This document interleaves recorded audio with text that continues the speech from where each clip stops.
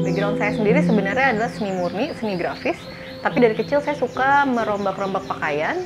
Kemudian saya tekunin, saya les jahit dan tetap eksperimen dengan pakaian yang saya suka pakai sendiri dan sampai sekarang saya masih suka mendesain dan merombak-rombak pakaian.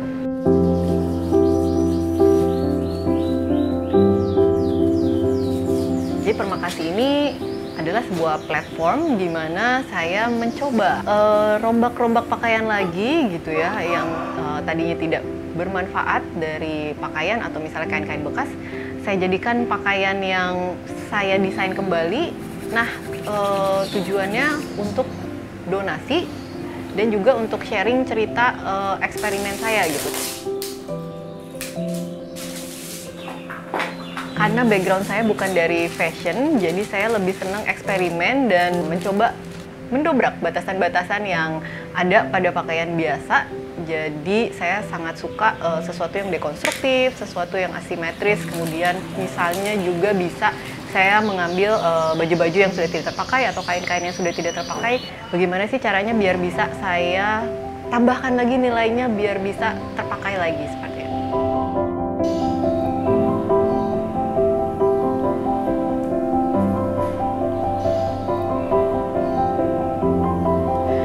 waktu lagi umroh, uh, saya itu berdoa sebenarnya saya itu ngapain ya atau apalagi sih yang harus saya lakukan gitu. Kemudian saya seperti mendapatkan bisikan atau pemahaman gitu uh, baju bekas gitu. Nah dari situ oh iya ya saya memang dari dulu suka merombak-rombak baju bekas. Kemudian uh, kenapa tidak sih saya coba lagi gitu ya. Kemudian saya ngajak teman saya untuk waktu itu niatnya awalnya memang untuk dijual baju-baju bekas ini. Pada perjalanannya saya sudah membuat beberapa, tetapi um, tak kenapa ya karena kita juga sama-sama sibuk, kemudian malah jadi mandek. Tetapi ini baju-baju mau diapain ya? Kemudian ya udah deh akhirnya uh, saya coba didonasikan saja gitu. Mungkin kalau misalnya uh, hasilnya didonasikan bisa untuk membantu orang lah lebih banyak gitu ya. Kemudian ya udah dari situ ternyata saya seperti mendapatkan energi baru dan malah sekarang saya jadi merombak-rombak dan bikin-bikin uh, baju lagi.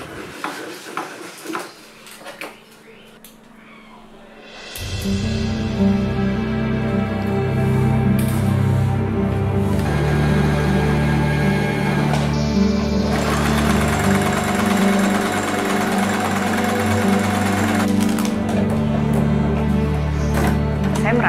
baju bekas itu mirip dengan saya karena uh, saya itu anak kelima dari lima bersaudara.